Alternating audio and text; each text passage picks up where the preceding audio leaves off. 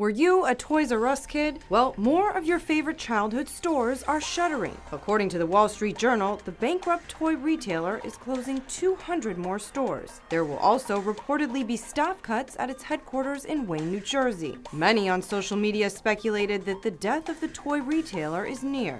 Like this woman who tweeted, Actually breaks my heart that Toys R Us has filed for bankruptcy and is shutting down, all because children want iPads and tablets over actual toys now. Toys R Us filed for bankruptcy in September. There's also 170 stores holding going out of business sales, in addition to the 200 stores that are closing.